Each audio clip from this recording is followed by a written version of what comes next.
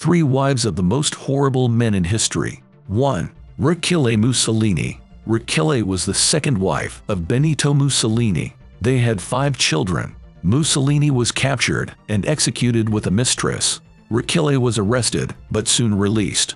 She ran a restaurant until her death. 2. Nadezhda Alliluyeva. Alliluyeva was the second wife of Joseph Stalin. They had two children. Nadezhda suffered from depression and neglect. In 1932, she killed herself with her husband's gun. 3. Jiang Qing, aka Madame Mao, was an actress.